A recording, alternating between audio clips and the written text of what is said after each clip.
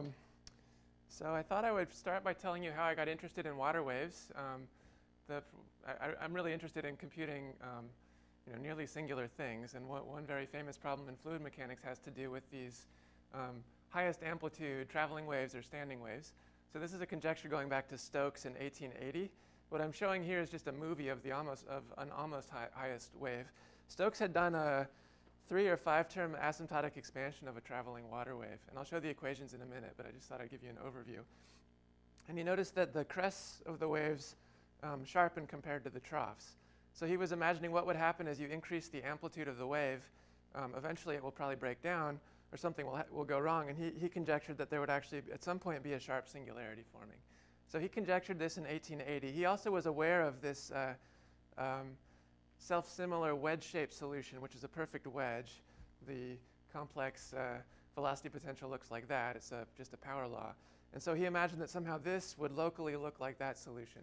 So you, and, and, that's how he predicted the 120 degrees. It took 100 years, but eventually it was proved that, the, um, that there is a largest amplitude wave, and it does have a sharp corner, and it, it um, is 120 degrees. And that was done by Amick, Fraenkel, and Toland in 1982. So sure. Yeah, periodic boundary conditions this way. It's actually infinite depth here. Um, so you'll see occasionally the particles come in and out. I think the particles, the particles are put there afterwards just to visualize the flow.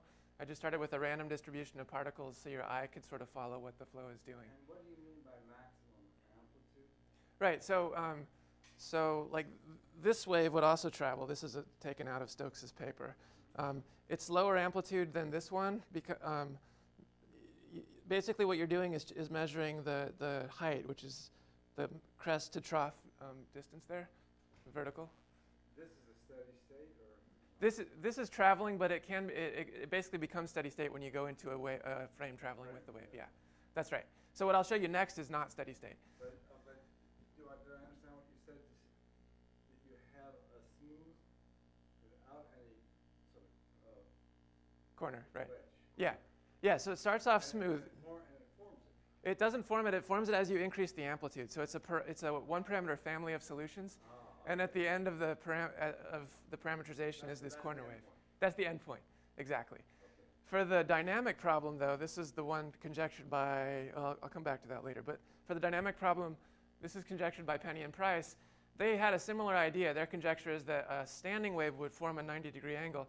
And this one would actually form the corner. Um, periodically. So it would form it just for that instant when it reaches the maximum amplitude right there.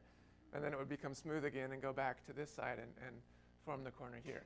So this was conjectured in 53, also doing asymptotic expansions. They were just guessing, sort of like Stokes did, that this one parameter family of standing waves that's not singular would also terminate in a singular wave. And that singular wave would have corners. So that was their conjecture. Um, and they, they, picked 90 degrees, but their reasoning wasn't as clear as Stokes' reasoning. And um, there's this. So G.I. Taylor, one year later, uh, 1953 compared to 52, actually built this apparatus to try to generate the um, singular uh, um, standing wave. And he, this is a picture from, from his experiment. So he actually found that it does seem to make 90 degree angles. But there's this quote in his paper that says, uh, referring to the 90 degree angles, while this is undoubtedly true, I've been unable to follow their, their arguments. So it's been a somewhat, uh, um, it's been an open question for about 60 years whether these standing waves really do form corners or, or what's going on. That, that's it's asymptotic, so it's not rigorous. It's basically, it's basically uh, they take the Stokes equations, they, they plug in a first order expansion, and then they plug that back in and get a second order the term. The Amick and Toland and Fraenkel's rigorous, yeah. They use a boundary integral method, I think a Nekrasov equation to, to solve it. Good. Okay, so there's this. So this is a, this is the sort of the question I set out to, to answer numerically: is to develop a method that's sort of capable of of tracking um, nearly singular flows with a lot more accuracy than has been done before, and and try to answer this question definitively. And I learned a lot of interesting things about the water wave along the way. Um, so one one question that I'll get to a little bit later has to do with stability. Um, so you know. It, it, it, turns out that those almost singular Stokes wa or um, standing waves are not stable. If you perturb them a little bit, they start to uh, evolve exponentially away from them. But, but the lower amplitudes one, ones are stable, and so are these sorts of things. You can, this is now a finite depth standing wave, and the depth is so small that instead of looking like a big sloshing wave, it just looks like two counterpropagating uh, sort of solitary waves that crash into each other repeatedly. And it turns out some of these guys are stable too. Um, even these things that, I mean, this is the fluid depth, and when they interact, the, the wave actually goes up to almost the fluid depth. Here it goes up higher than the fluid depth. So I think it's interesting that standing waves sort of become these, uh, these things in, in, in shallower water. And so I want to talk about stability and long-time dynamics when you start perturbing these things in the cases where they are stable. So that's roughly what I'm going to talk about. Um, there's another kind of wave where I can actually say something about quasi-periodic quasi-periodicity, basically connecting pure standing waves and pure traveling waves. There are a lot of waves in between. Basically, they look like, like standing waves, but each time they come back to a, to a spatial phase shift of where they start.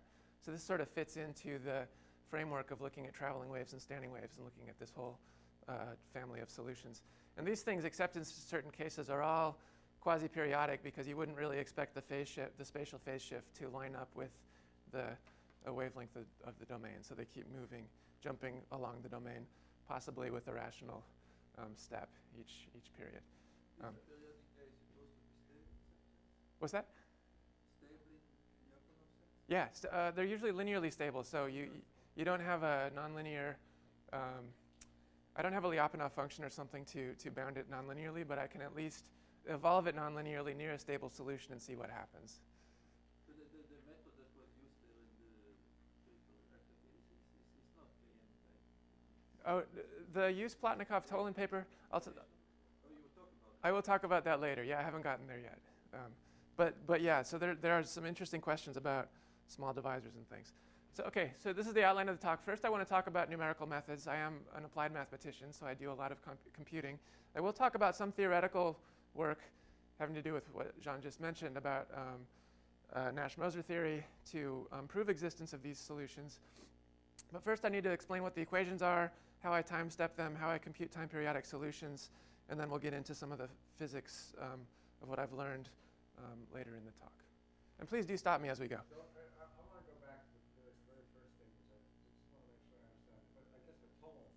Yeah.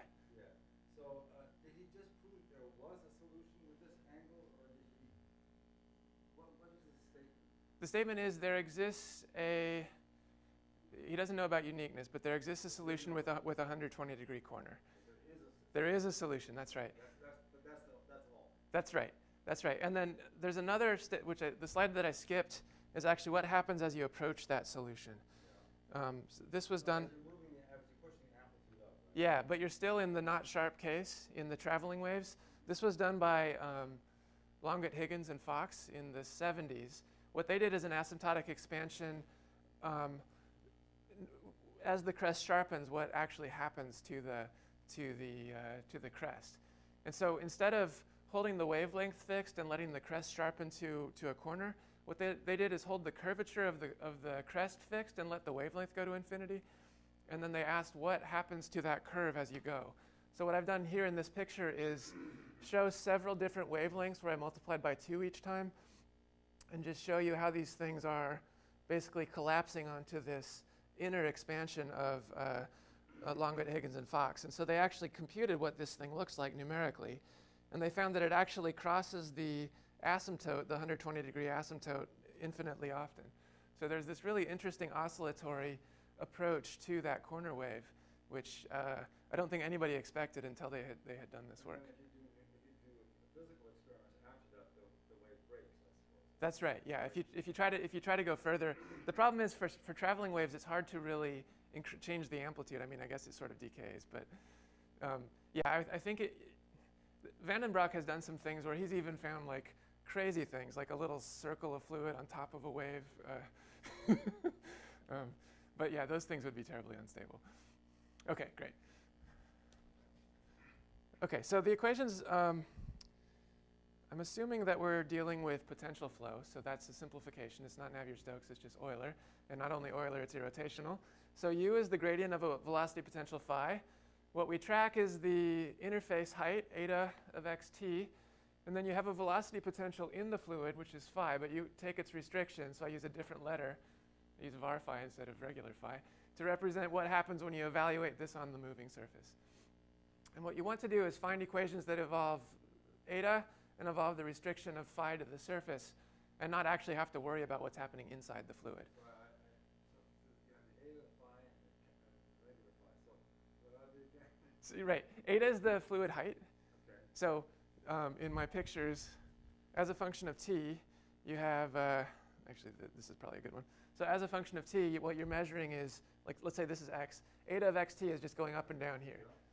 Um, phi is the velocity potential restrict, restricted to the surface. And the velocity, the gradient of the velocity potential gives you how these particles are moving. So the particles are there just to visualize.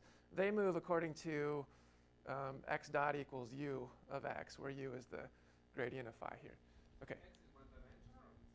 It, it's, it's essentially a one-dimensional problem, except that inside of the equations of motion, you have to solve for the, the Laplace equation off of the curve.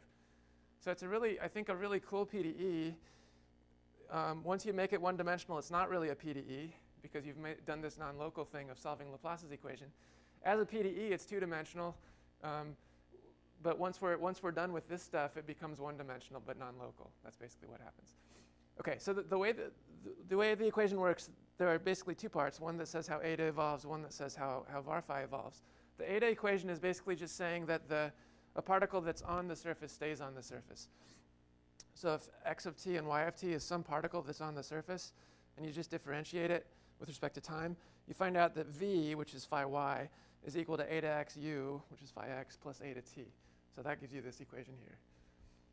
The other equation is the fluid mechanics. This is where Euler's equations come into play. And you can write Euler's equations as the gradient of, of this thing. So this form of it's called one, of, one of the Bernoulli equations. It basically says that phi t plus 1 half um, grad phi squared plus p over rho plus gy is equal to a constant independent of space. You're allowed to let it depend on time if you want to. So c of t is only a function of time. Um, so that's what this equation is saying. And if you do take the gradient, you actually get Euler's equation. So that's the way I think about it, at least. Um, and then there's a problem that this, this phi t in Bernoulli's equation is the one where, where space is fixed, but the wave is moving. So you just do a little chain rule to convert from the, the Eulerian frame to this sort of moving frame where you're moving along the interface. T- Uh, oh, right, Tur surface tension, which throughout the talk, i- in my previous talks, I, I mean, I, I have talks in which tau is important, but in this case, it's just zero in my talk today. That's for surface tension, which is basically a restoring force based on curvature.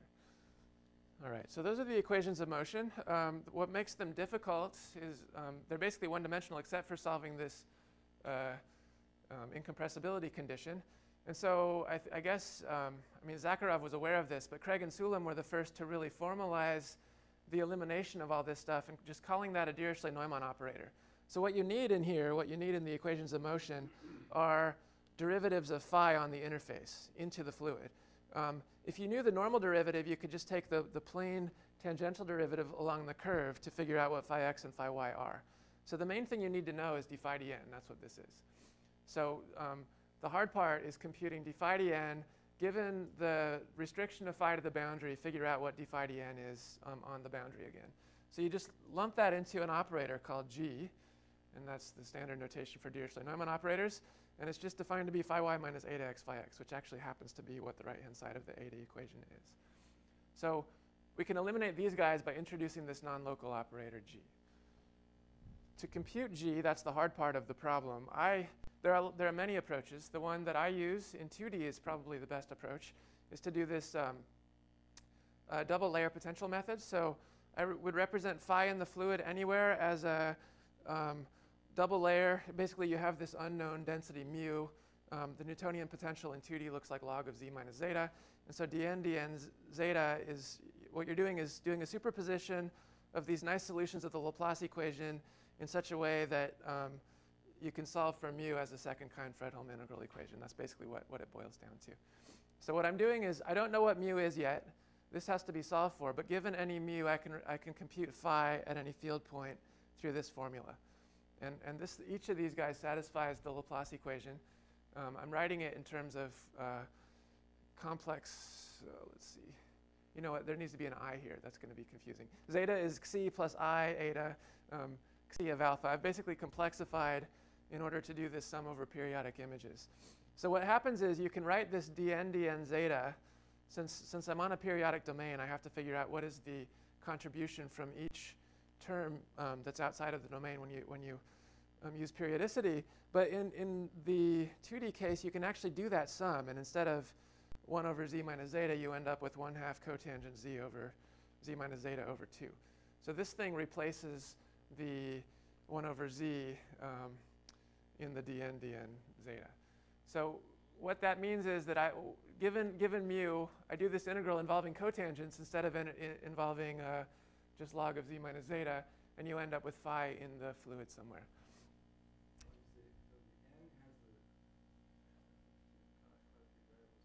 Yeah. Think of this as just 1 over 2 pi log r.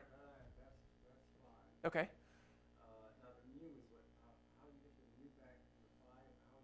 Good question. Okay, so that's the next slide. So the, um, the idea is this is known at the free surface.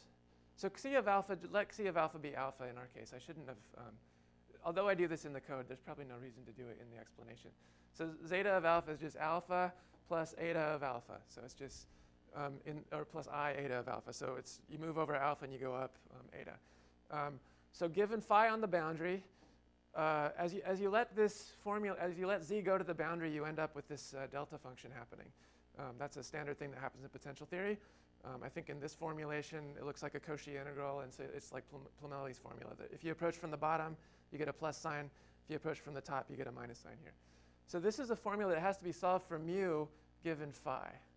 Basically, what you're doing is just letting the field point z approach the boundary and seeing what happens with that, with that singular integral. And k, um, this is just, you know, this, this is what you get when you sum over periodic images. This guy here is used to regularize this. This thing is singular um, because you have a cotangent becomes, uh, is like 1 over z when z goes to 0. So if you subtract this guy off, um, you're taking the imaginary part. So you're not actually doing anything to the result. But the difference here is actually regular. So k ends up being a continuous function in spite of appearances, in spite of the singularity here, because you took the imaginary part. So you have a nice continuous function integrated against mu plus 1 half the identity applied to mu is equal to phi. So that is a second kind Fredholm integral equation. This thing is compact. Um, so once you've solved for mu, then you can compute g phi by taking a derivative of this thing as you approach the boundary. And the details are a little complicated, but in fact, the formulas are almost the same. Beta becomes alpha, imaginary part becomes real part, and uh, this part's the same. And so um, one thing that happens is instead of the, the 1 half, you end up with a Hilbert transform. And uh, we are taking a derivative, and the way that shows up is just taking a derivative of mu inside of the integrand. So that's the procedure. Given phi, solve for mu, differentiate mu, plug it into the Hilbert transform, integrate against a slightly different kernel, and you get g. All right, so that's, the, that's a way to um, compute Dirichlet-Neumann operators. To do it numerically, you just discretize everything. Um, since everybody's smooth, um, the trapezoidal rule converges exponentially fast, so you can form these matrices. Um, integration just becomes matrix vector multiply. This thing turns into a matrix equation, and you don't need that many, um, uh, you don't need to discretize with that many points to reach machine precision because things do converge exponentially fast. So that's, the, that's basically the plan or the, the way it works. Um, this is, well, okay, so there's another formulation which I needed to write down if I'm going to talk about the, the expansions that John was asking about, which is the conformal mapping formulation. So this is a, just a different way of, of dealing with the Laplace equation. What you do is you complexify your parameter alpha, which I use to parameterize the curve, to the lower half plane. So you introduce a beta. And then x plus iy is the, or z equals x plus iy is the mapping from the from the half plane to the physical domain, which has a curved surface. I'm still going to let zeta be the curve just to try to make it familiar with what we just did. I will also complexify the velocity potential by adding a stream function to it. So, um, so basically, the kinematic condition um, with a particle staying on the surface just turns into uh, just turns into this equation, um, xi alpha, xi being the x component of this, eta t minus eta alpha ct equals minus psi alpha. Um, so I'm trying to think what's the easiest way to see that this stuff works. Um, the d phi dn, um, that's the, so I think this is a very physical equation. It's saying that the normal velocity of the curve is equal to the, um, th this is the gradient of the velocity potential, so it's basically the, the, the normal velocity of the fluid. Normal velocity of the curve is equal to the normal velocity of the fluid, and then because this thing is conformal, phi plus i psi is conformal, d phi dn is equal to d psi d alpha. In other words, it's, it's like this. So that's what's happening here. Um, and this thing is just kinematically what does zeta t dot n mean. Um, another, and then if you just plug in, plug these things in here, this is how, this is another way to write exactly the same thing. The fluid mechanics in the conformal variables, um, again, you're basically looking for Bernoulli's equation. So this is Bernoulli, phi t equals this guy. But to figure out what phi t is, you have to be a little bit careful again about the fact that this phi is sort of with z, z fixed, whereas when you pull it back, uh, freezing alpha and freezing zeta are not the same thing. So that's all I'm doing with calling this side f and this side phi. This is like our var phi, and this is like the, the, the regular phi. Um, so when you do the chain rule, all that's all I'm trying to get at here. When you do the chain rule, you pick up a term here um, from the change of variables, and then you have this guy, which is related to Bernoulli. So real ft minus this capital phi prime zeta t, that's the chain rule to, to, to freeze the point in space on the right, is equal to Bernoulli. And once you've done that, then it basically is just a matter of um, unraveling what everything means, and you'll end up with this equation, which every time I see that, it looks incomprehensible. But it really is just Bernoulli's equation written uh, where, where you just take all, all your pieces and throw it into the corresponding places. Um, so these, these two equations are what the people like Iooss and Plotnikov use when they are trying to um, do asymptotic expansions, basically, is you build your theory. Satis satisfying these two equations are, um, is equivalent to um, solving the Euler equations. The way I have used this in the past is something is a, a method due to um, Zakharov and Dyachenko. Basically, I mean, as it is, this is just um, these are just two equations that have to be satisfied to satisfy Euler's equation, but they, don't tell you how to march the solution.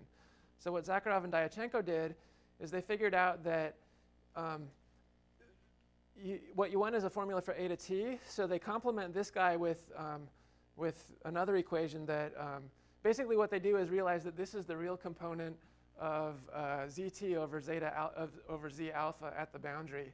And the imaginary component turns out to be this. Oh, sorry, this is the imaginary component. This is the real component. And, and they're going to be related by a Hilbert transform since the Hilbert transform maps a, the real part of a um, analytic function to the imaginary part. So that was, I think, their main idea is that you can figure out how to link this condition to the, the rest of it you need to solve for eta t by a Hilbert transform.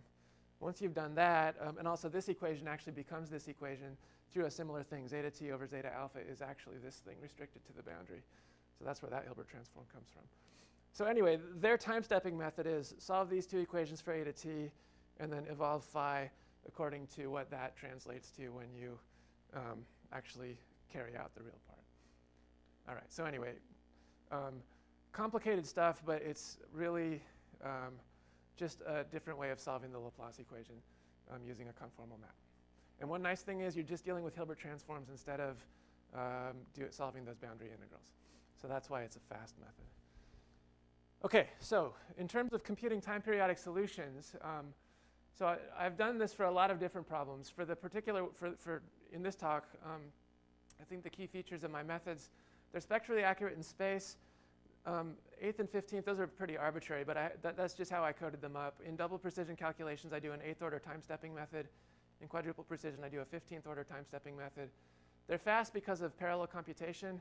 Um, that's one place where I benefit from having a connection with Lawrence Berkeley Lab is they have big, big machines, so I can, I can use them.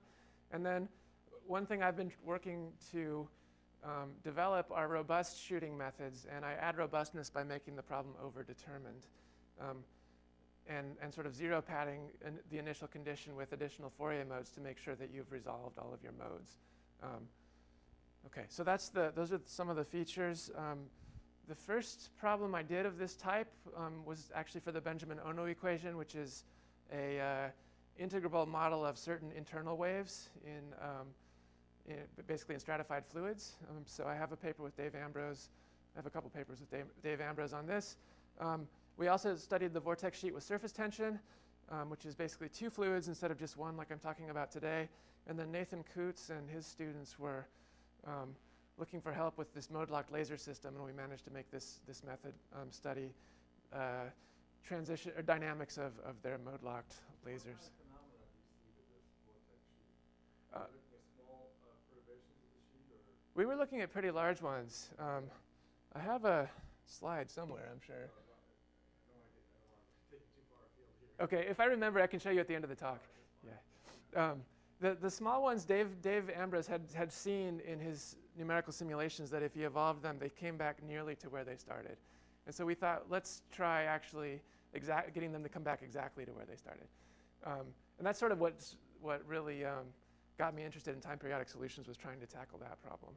Um, eventually, we got things that overturned and still managed to come back. So instead of rolling up like they often do, um, even even with even with the with the shear flow at the top, they can they can overturn and then come back. So that's what the movie will be when I show it to you later. Okay, so uh, so then this uh, the standing waves um, are things that I was doing pretty much on my own. I, I, I did have one student help me with the uh, with uh, some of the computations in um, uh, parts of this work, and then um, actually we we we now have a 3D water wave code. I'm not sure I listed that anywhere. Um, and um, another of my students is looking at, at rolling tires. So basically, you take a tire and you roll it at a very fast speed. It will start to either oscillate or go into various sort of um, polygonal shapes. So here's a picture of a drag racer um, racing down the road, and the, the, the tire actually has five sides now. and so um, we've been looking at the dynamics of that problem whether or not you're in contact with a road and what are sort of the stable configurations of a rapidly spinning um, material. And so all of these methods are turning out to be useful for, the, for this nonlinear elastic, elasticity problem. Um, okay, so in terms of um, actually computing uh, a time periodic solution, basically I've shown you how to time step, or I've at least shown you what the equations of motion look like. Um, so what you have to do is figure out how to rig the, or choose the initial conditions so that at the later time it will come back to where, where you started. So um, for, the, for the symmetric standing wave like this one, the easiest way to do this is declare t equals 0 to be when it's as close to flat as possible, so right, right at this moment here. Um, and then what you try to do is get the wave to actually come to a complete stop at a later time. So if you can get the velocity potential to be 0 at time t over 4, you can then use a symmetry argument to say that it'll come back the way it, it went, and if you have the right kinds of symmetries in your initial condition as well, then it will carry on with a phase shift and the, and the peak will come up on the other side. So it's like you you only ha actually have to evolve over a quarter of the pendulum. Um, so that's what, that's what this buys you. So what I need to do is drive phi to 0 at time t over So 4. you're looking for periodic, periodic solutions? Yes, right? yeah, that's right. And you have to find initial conditions that will produce it. Exactly, right. And so, so right. So what I'm doing is I just for any initial condition, and C is my choi- my name for initial conditions. They're Fourier modes of the initial condition.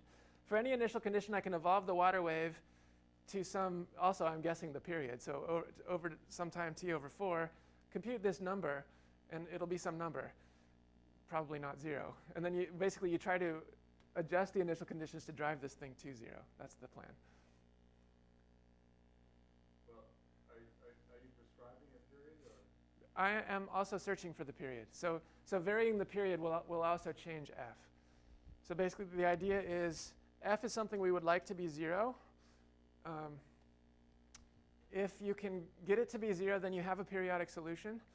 So, and I'll explain how I drive it to 0 in a second, but supposing I have an algorithm for minimizing f and it keeps returning 0, what I do is choose one of the Fourier modes, say C1, impose, it, impose its value minimize over all the other degrees of freedom, all the other c's, until f goes to 0, and then I adjust the, the, the parameter that I'm varying again and do the same thing. So that in that way, you basically continue along this, this one parameter family of solutions. And th- these are just different slices through the solution, different ways of, of visualizing it. What I'm looking at are Fourier modes of the initial condition.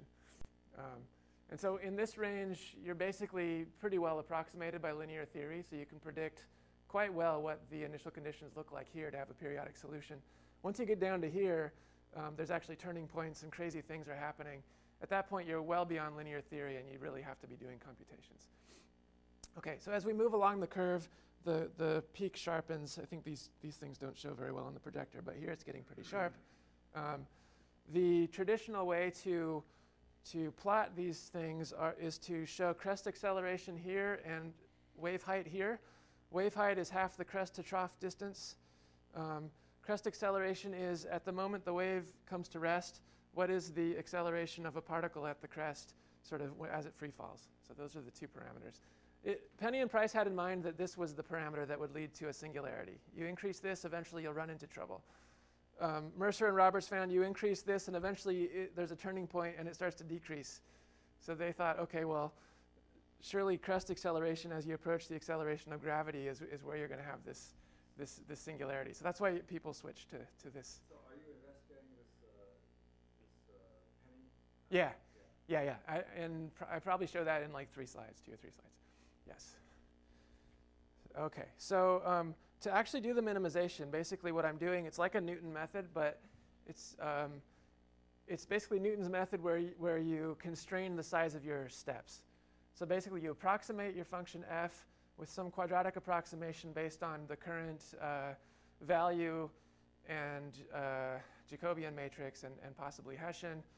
Um, in, in the Levenberg-Marquardt approach, you actually drop the hard part of the Hessian where you have to, so first of all, we're doing nonlinear least squares, so it looks like R transpose R that you're minimizing. So when you, when you compute the Hessian, there's the nice piece, which is J transpose J, J being grad R, and then there's the not nice piece, which is R, sum of Ri times the Hessians of the, of the Ri's. You just neglect this, and the idea is that as Ri goes to zero, these terms go to zero anyway. So you still end up getting quadratic convergence. Um, and the other thing that Levenberg and Marquardt do is put this constraint. It's uh, basically the largest step size where you trust the quadratic model, and you minimize this over this region. And then based on how well that did, how well the, the prediction did to what the next f actually was, you either increase or decrease the size of the, of the trust region. To, to actually solve this thing is just a little bit of linear algebra. It turns out not to be too hard. Um, there's one Lagrange multiplier here that has to be solved for. All right. Um, very ugly Jacobian, but it's doable. It, it involves, uh, it involves lots of solutions of the Laplace equation, but it's all the same.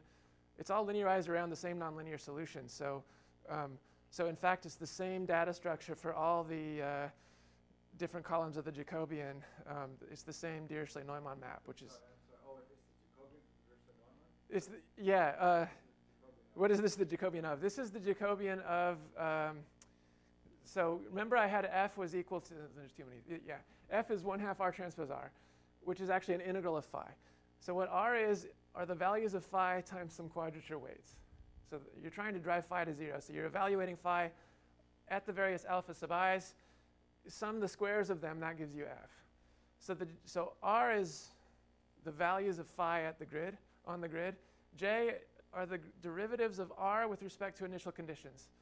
So for each Fourier mode of the initial condition, the corresponding column of J says how much does R change as I vary that initial Fourier mode. So it's a, it's a big matrix where the columns correspond to Fourier modes of the initial condition, and the rows correspond to the values of the velocity potential at the grid points at the later time. And um, what you're doing here is you're solving the linearized water wave equations. Um, basically, yeah, yeah, yeah. And in fact, in, in practice, you really only have to compute the Jacobian once. And then you use it a few times, and, and you can still converge to machine precision, as long as you're doing numerical continuation and not taking too big of steps.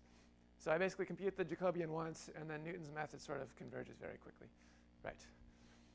So that's the idea. Here's the results. So, um, so there had been a lot of um, you know, conjectures about what happens to this largest amplitude traveling wave. Um, the 90 degree no, not yet. Oh, there is actually, and I'll show you. I'll show you.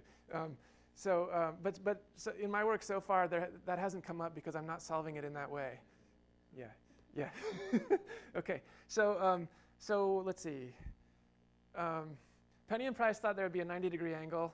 Schwartz and Whitney thought it would be maybe cusp-like or at least uh, you know, sharper than 90. I think Mercer and Roberts found that it would be something like 60. I find that there is no limiting wave. In fact, there are lots of different families of solutions. Each of them starts to develop some non-self-similar structure near the crest tip. And um, so basically what's happening, as you're following this thing towards where the singularity was supposed to happen, the bifurcation curve actually fragments into a lot of different pieces. And each of those curves ends up not going, becoming singular, but ends up picking up various uh, patterns of, of waves on the, um, on the free surface. So if I compare to what I did earlier with the um, almost highest traveling wave, what, what they did there was rescale things so the curvature was constant and let the wavelength go to infinity. I'm doing the same here. I'm basically taking my solutions, rescaling the curvature to be 1, and then plotting things. And you would expect it to go to 1 if it was going to form a um, 90 degree corner. It does that for a while, but eventually as the, as the solution starts to develop these oscillations, the, uh, it just completely loses its uh, self-similarity. These things are not collapsing onto a universal curve.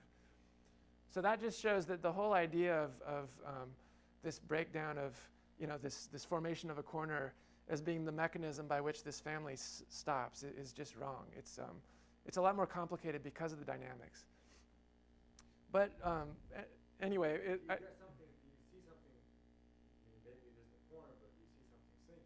We see, uh, I'll, sh I'll show you that in a couple slides too. Yeah, good. Um, so yeah, this is just the comparison. So this, this guy does become singular. This is what happens in the traveling wave case. These things collapse onto this curve, um, 1 over root 3 being 120 degrees. In, in, our, in our case, they start to seem like they're going to collapse on 90 degrees, which is slope of 1 on each side. But then, um, in fact, you end up with fine scale structure. I don't, let's see. So accuracy check, I mean, whenever you start to see disconnections and things, you wonder if it's a numerical artifact. Um, so here's the most singular solution I computed.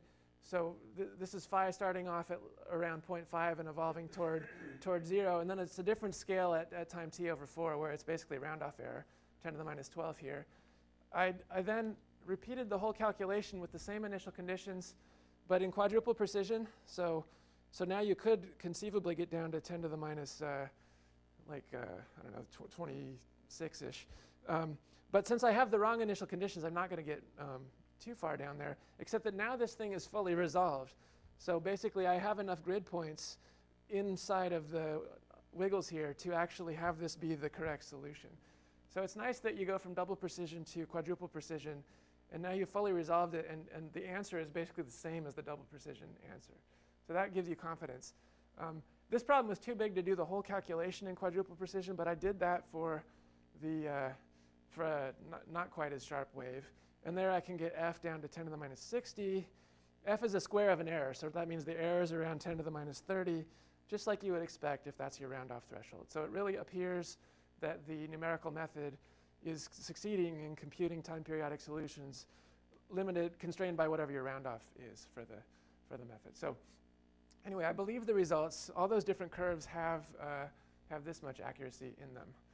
Um, so now, that, now your question is, um, so basically your question is, if there's no extreme wave, where do, where do the curves end? Must be something singular. Um, another question is, where do the, those disconnections come from? And then the third one, which sort of will be the second part of the talk, is are the solutions stable? So this is, I think, a nicer way to actually see all the different curves. The wave height crest acceleration um, these curves sort of get smashed on top of each other. But if I plot the 60th Fourier mode of the initial condition versus crest acceleration, you really see how they all end up separating. So I'm going to, and um, okay, so this is the bifurcation diagram, and corresponding to each of the endpoints is one of the, one of the curves over there. Okay, so I, I think we want to know about this one, but first let me explain about physically what are the disconnections. Um, so um, there are a lot more disconnections in shallow water. Um, so here's sort of something where the depth is 1 instead of infinite. Uh, and it's solution C. So it's growing the, because, because there's a wall to push off of, the, so the wave can um, grow taller. And when you look at this bifurcation curve, there's actually a lot of disconnections in it. So what I want to do is just show you physically what is the difference between this solution and this solution on these two different sides, on these two different branches. Oh, good question. Yeah, so the point is, um, disconnection, so the way my, sorry, I'm trying to go back to here. So what I found was that these guys, you know, I'm tracking a curve And then all of a sudden, I've jumped to another curve. Not on purpose, the numerical continuation algorithm just did it. When I solved for the new solution, I ended up on a different curve. So then I take smaller steps and figure out where did those curves go, and it turned out that they were just different curves that were nearby each other. So what I mean by disconnections is uh, literally just that there are two families of solutions where the bifurcation diagram has them passing close to each other. And in fact, the solutions are actually almost the same. They, they differ slightly when you resolve them well enough, but um, there are basically two different solutions that are quite close to each other here. So disconnections just means that the curves are sort of disconnected instead of forming a single smooth continuous uh, thing. So, um, so I want to show what this disconnection corresponds to physically. And the idea is that um, as I move along, let's see, what am I doing? C, D, E, F, I end up with these um, solutions with color coded. Um, so the C solution was very large, the F solution has lower amplitude, and it has these, this secondary standing wave on top of it. Whereas G ha also has a secondary standing wave, but it ends up going down at the crest instead of sharpening at the crest. So I think what has happened is that the, the main wave has somehow excited a resonance between this higher frequency wave and, the, and, um, and itself, the longer wave. And that, that higher frequency can come with a couple of different phases and still be time periodic. So in this case, it, it's sort of sharpening the crest, and in this case, it's pushing down the crest. And a movie of that really shows that it is standing waves on standing waves.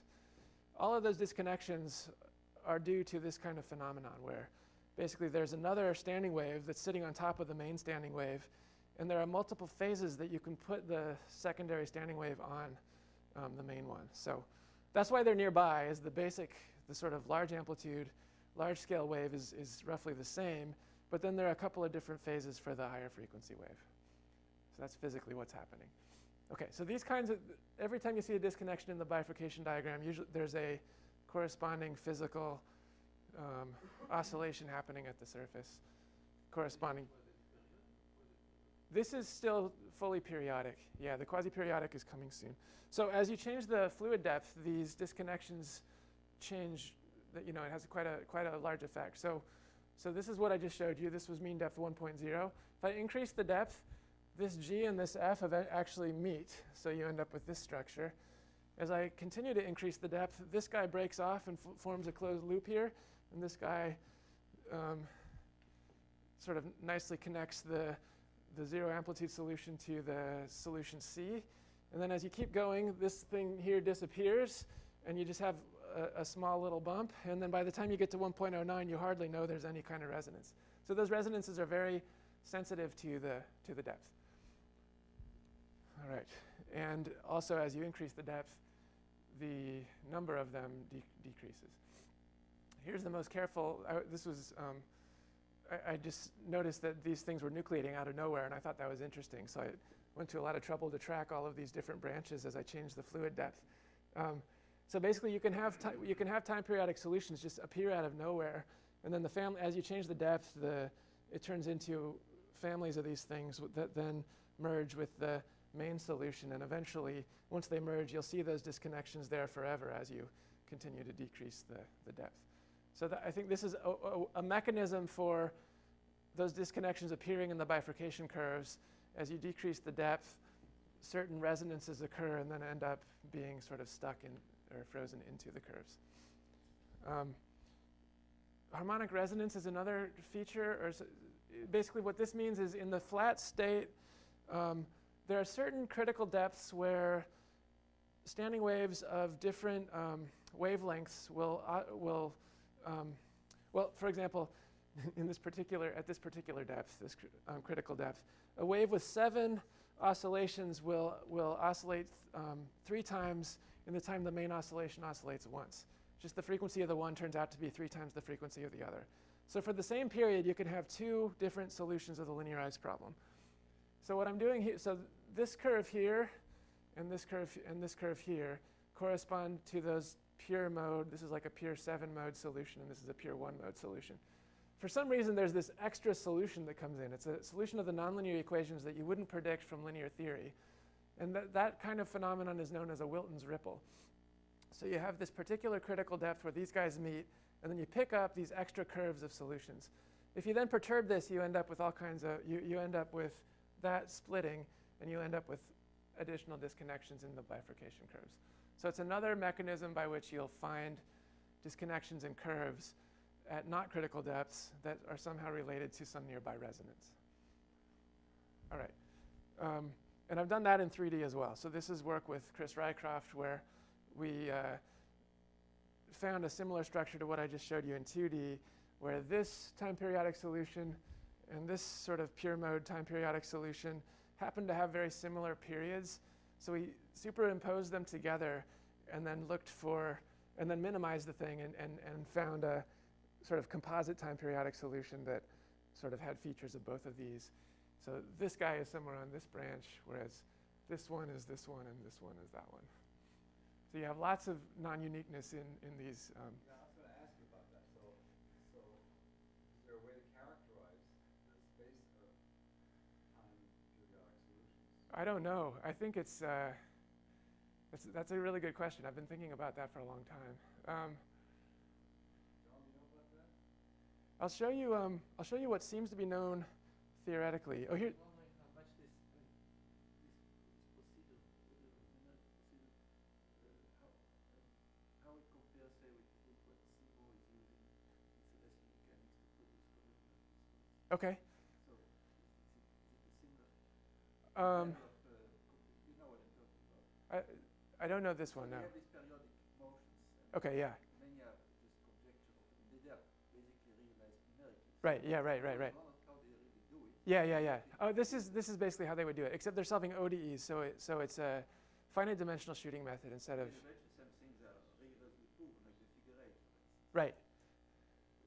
No. Yeah. You're right. I've, Later, but it was first discovered by some- some Right. I saw, I've, I saw somebody had put together a web page of really cool three-body problem pe- periodic solutions. In fact, that's sort of what I did with Benjamin Ono too, is you can do pole dynamics on that and make, make the poles come back. Um, in terms of where do the curves end, it seems that what's happening is you're ending up with blow, blow up in higher Sobolev norms. Like the, the higher frequencies are just becoming more and more um, active and large. And, and at some point I run out of resolution. I just can't, I can't continue on, but this is not looking smooth anymore. So th- I think that's probably what's hap- what happens. Um, another thing is that um, the curves don't end at all. Sometimes they come back on themselves. Like this guy actually ended up coming back and meeting this curve. So that's another way you can avoid a, uh, a singularity at the end is if it comes back and gets reincorporated into the same picture. The craziest idea is this um, idea that you have Cantor-like structure, or that, that it's not smooth curves of solutions at all. It could be actually parametrized by a totally disconnected Cantor set. So in shallow water, that kind of looks like what's happening. Here's the first Fourier mode, looks fairly smooth. 17th Fourier mode, um, you're starting to see quite a few disconnections in the curves. 36 Fourier mode, same solutions here. Um, now they're really violently jumping all over the place. And each of those solutions, I mean, each, each dot here, there's a corresponding dot here and here. That solution is known to uh, 17 digits of accuracy. Um, but then the neighboring solution, which is also known to 17 digits of accuracy, somehow just jumped to another branch. So this, I think, is what you would see if you, if you really had something which was mathematically parameterized by a Cantor set, but then you're, you're sort of stuck to windows that are of size 10 to the minus 17. You'll just see these, this, this kind of behavior. Small divisors, exa- exactly. So, um, so here's, so this is what I did this week because I thought that you might be interested actually. So, um, actually, so, so here I'm in the infinite depth case looking for problems. I'm looking for, for disconnections. Aside from these guys, and I think I found one here, and that was it. I did not find any other evidence of, of uh, disconnection on the curve here. And to find this one, I actually had to land in a window that was of size 10 to the minus 12. So 1, 2, 3, 4, 5, 6, 7, 8, 9. So in the 10th digit of, of, of this parameter, um, you actually have to zoom in that far to see any kind of um, um, sort of disconnection or trouble. So, so I have been thinking that maybe the infinite depth case actually is smooth. Like somehow when you're, when you're down in this region, the, uh, the proof of Iooss, Plot- Plotnikov and Toland uses this Nash-Moser theory and deals with the small divisors. Um, and, and they can only establish existence on a Cantor set. But I, I decided to look at their paper and implement their sort of constructive algorithm. So this is the, these are our conformal mapping formulation of the water wave equations. Um, you introduce this extra variable w, which is f zeta. So zeta now has become the conformal variable, which is annoying, but um, it's because this is coming out of a different paper than, than um, the usual notation I use. But what, what, what Schwartz and Whitney did in, in 1981 is they took this as a guess for the formula, form of the standing water waves, plugged it into these equations, and solved term by term. Flat state, zero. Yeah, zero amplitude flat state. So you can make things which are a bit uh, small, Yeah, which is essential, otherwise you can't that's absolutely right, yeah. Otherwise you have to do variation methods. Okay.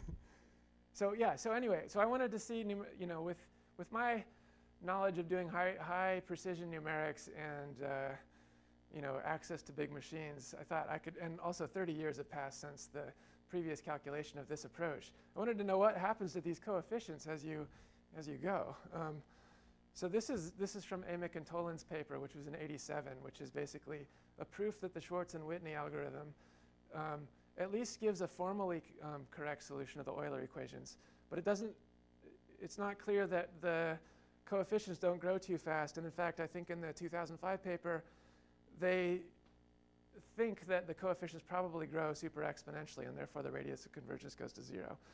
So basically, there's this complicated algebraic system of equations, which are for the coefficients in this expansion that Schwartz and Whitney proposed. So these coefficients are what you're solving for. Um, you write these things down on a lattice. It's a real mess because every time you you're at a square, like 9 or 4 or um, 16 or 25, every time you're at a square, there's a resonance problem where that particular mode does, is, is um, time periodic and is not determined uniquely. So you have to go to the next two orders to figure out what it is. But anyway, it can be done. So you, you, can, you can find a way to uniquely determine all the coefficients in, the, in this infinite lattice. Um, and Schwartz and Whitney managed to get to 25th order, which is here, um, here, I guess. Um, and then, so this is what I computed this past week. So, so this, this is the coefficients A, the norms of the A's, as you go to up to 500th order. And the red curve are the coefficients of the, um, of the period. Basically, you have to expand the period as well. And I saw this happen, and I was worried about it, but it seems to actually be a round-off error thing. So if I use 180, 108 digits of, of in the calculations, then I get these curves. And if I use 360 digits, I get these curves. Um, but the point is that this thing is only growing exponentially. Like if I look at, if I do the ratio test, it's going up to about 3.3. And if I do 1 over this, flip it around, this thing is going to here. It's not going to 0. Um, so I think that the, wasn't it wasn't super exponential after all. And I, I think, especially seeing that these guys even, I mean, the round-off error grows yeah, yeah, yeah, that's right. I, I'm hoping, I mean, I, this was, this was already the maximum. I used 32 computers at LBL for 24 hours. I felt like I probably shouldn't run it again. um, so anyway, the, the fact that even the round-off errors are only growing exponentially makes me think that it may be possible to prove this, uh, prove that the Nash-Moser was not necessary for the infinite depth case. Um, all right, so I've, I've probably used up a lot of my time. I'll try to summarize what the rest of the talk is. Uh, so with stability, what I've done is looked at Floquet multipliers of linearize around these solutions and look at the Floquet multipliers. If the Floquet multiplier is equal to 1, then it's linearly stable. If it deviates from 1, as happens up here when you're at the extreme waves, then it's unstable. So these guys up here are unstable. Mercer and Roberts did something similar. They found this curve and they found this curve. Um, this guy is new, these guys are new. So there are all these weird little pockets of instability that seem to be scattered around through the, through the family of water waves. So one thing I've done is seed, so in, in this unstable region, seed the initial condition with the unstable direction and see what happens. And I seem to be getting quasi-periodic dynamics off of the, perturbing off of, off of the wave. So what, what I'm showing here is over 10,000 periods of the unperturbed wave, what happens to the perturbed wave. And I'm only showing at snapshots of what would be the flat state. So basically, you're seeing like this sort of breathing thing that happens over, I think, about five or 6,000 periods, where the solution does that, but basically stays near the um, solution. So I'm guessing that this, this thing is going from purely periodic to some sort of quasi-periodic thing, but still basically a, a what I didn't, didn't catch how you, what you did. Good question. Okay. So what I what I've done is I picked an unstable mode. Uh, sorry, I picked an, uns- an unstable parameter where, where there are these Floquet multipliers outside of the unit circle. I started with my pure standing wave, which would be here. Or, sorry, I guess the, the pure standing wave has these unstable modes. So I just add 10 to the minus 6 times the unstable mode and then evolve nonlinearly over 10,000 cycles and just ask what happens. And it seems to basically cycle through this additional breathing phase that has its own period but doesn't seem to really take you too far away from the original standing wave. And then, um, so I, yeah, I should stop. I should skip that part. Hold on. So I look at Floquet multipliers of this too. Um, I found that this top guy was stable to harmonic perturbations. And so then my question was, if I take two traveling waves and collide them into each other, um, that these traveling waves have the same energy as that um, time periodic solution. I collide these things over, I think this was 5,000 cycles, and ask what happens. And it seems like this also basically stays near the nearby time periodic solution and, and simply has a bunch of other oscillations that are going around it. So I think this is sort of quasi-periodic behavior too. Here I actually plotted every 10th, the position of the, of the wave after every 10 um, cycles, and it basically still looks like two waves going in and out. So I think all of this, Stokes collision, Stokes collision. Stokes waves are traveling waves. Oh, okay. So a Stokes collision is take two that, yeah, and, right, that's right. And so, um, so here I did an FFT of the data I got. You have a strong mode here, and then you have all these other things, which I think could be quasi peri- peri- periods of the, of the solution, basically. All right, and then I was going to say some things about traveling standing waves, just that they exist and um, are sort of a pretty well-defined way of, of getting quasi-periodic behavior if the torus is only two-dimensional. Um, oh, and, and, and this was sort of a connection to what I did with Benjamin Ono. In the Benjamin Ono equation, which I, maybe I didn't write it down, it's ut plus uux uh, plus huxx equals zero. Um, the, in the Benjamin Ono equation, we found bifurcations from stationary solutions to traveling waves, and I parameterized, all, I figured out what all of them were, how to, how to look at a particular perturbation and figure out where it was going to go to with this path of nonlinear solutions. So the Euler equations seem to have similar things, um, and that's for Benjamin Ono.